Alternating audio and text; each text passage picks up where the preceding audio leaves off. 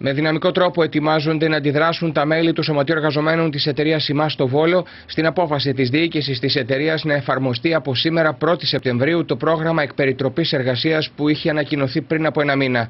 Ήδη η διοίκηση του Σωματείου βρίσκεται σε επαφές με το νομικό της σύμβουλο και δεν αποκλείεται από μεθαύριο να ξεκινήσουν κινητοποιήσεις αρχικά με τη μορφή των στάσεων εργασίας.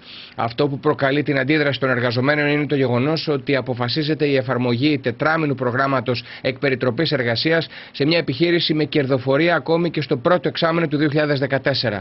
Όλοι οι συνάδελφοι αυτή τη στιγμή αντιμετωπίζουν με την δέουσα σοβαρότητα και με τη δέουσα προσοχή την απόφαση της εταιρείας για εκπεριτροπής εργασία ενώ αυτή τη στιγμή η εταιρεία βρίσκεται σε κερδοφορία.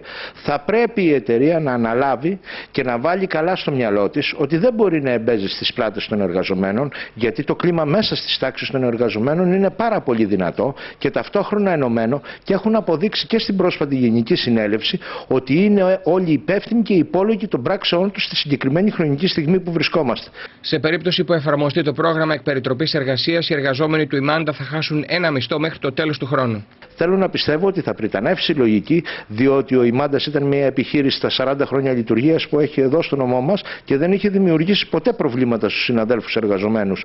Θα λειτουργήσει και πάλι σωστά και θα καταλάβει ότι αυτό το οποίο ξεκινάει να κάνει και θέλει να είναι εις βάρος των συναδέλφων μας θα το πάρει πίσω. Η λογική του σωματείου είναι ότι εμείς είμαστε εδώ, μπορούμε να συζητήσουμε, αλλά δεν μπορούμε να συζητήσουμε για θέμα εκπεριτροπής εργασίας από τη στιγμή που υπάρχουν κέρδη.